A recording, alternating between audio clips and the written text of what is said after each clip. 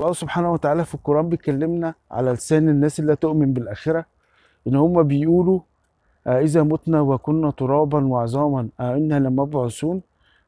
وبيقولوا كمان إنما حياتنا الدنيا نموت ونحي- ونحيا ولا يهلكنا إلا الدهر آه العقيدة إن في بعث بعد الموت وإن الكائن الحي بعد ما جسمه يفنى ويبلى في الأرض إنه هيعود تاني للحياة.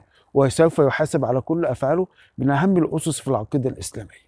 إحنا كبشر بنشوف كل يوم بالملاحظة والمشاهدة إن مفيش حد مخلد على الأرض. ده معنى كده إن إحنا متأكدين إن كلنا هنموت. بالتجربة مفيش حد قصادنا قدر يعيش لما لا نهاية. كل الناس بتموت ومن ثم بنستنتج إن الموت علينا حق. وبيبقى حقيقة زي ما ربنا سبحانه وتعالى قال في القرآن واعبد ربك حتى يأتيك اليقين. حتى يأتيك الموت اللي هو اليقين. هل عملية إحياء الموتى هل هي ممكنة ولا مستحيلة؟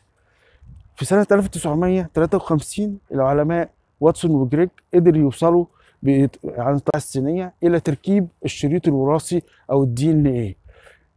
معرفة الإنسان بتركيب الشريط الوراثي وأهميته إن الإنسان كل خلية فيه بيحتوي على شريط وراثي بيتكون من أربع حروف زي برنامج الكمبيوتر بالظبط.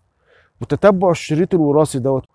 زي لون شعره آه بصمته آه لون جلده كل ده متسجل عليه.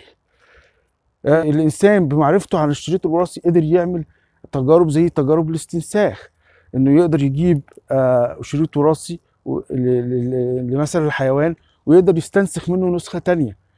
الهندسة الوراثية بتقدر لو إحنا ادينا لها على برنامج كمبيوتر في تتبع DNA إن هو يقدر يركبه وي- وي- ويكونه من الأسس بتاعت آه، آه، آه، الأربع nucleic acid يعني أعرف التتبع ال DNA. حتى لو معيش نسخة منه أقدر أخلي المكنة اللي موجودة في الهندسة الوراثية في معمل الهندسة الوراثية إن هي تركبه من المكونات الرئيسية.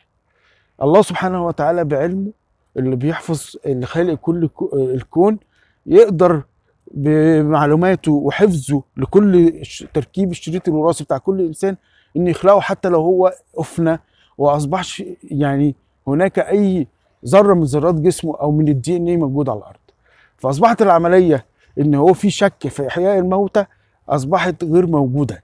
العملية أصبحت من الناحية العلمية والناحية التجريبية هي عملية سهلة جدا على خلق البشر.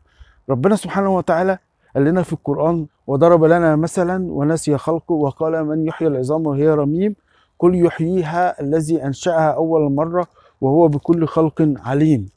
ربنا سبحانه وتعالى في العقيدة الإسلامية إحنا بيفكرنا في 17 مرة في اليوم مالك يوم الدين. ربنا بيفكرك إنك أنت هتقابله تاني وهيحاسبك على كل أفعالك.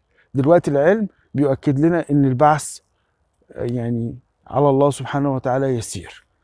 ما تنساش تنسي تعمل share like and subscribe